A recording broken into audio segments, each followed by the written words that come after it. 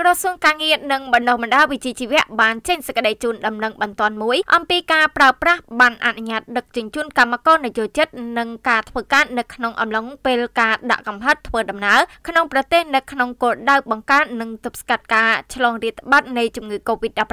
នេះបើយោងតាមសេចក្តីជូនដំណឹងរបស់ក្រសួងការងារដែលបណ្ដាញព័ត៌មាន Fresh News ទទួលបាននាព្រលប់ថ្ងៃទី9ខែមេសាឆ្នាំ2020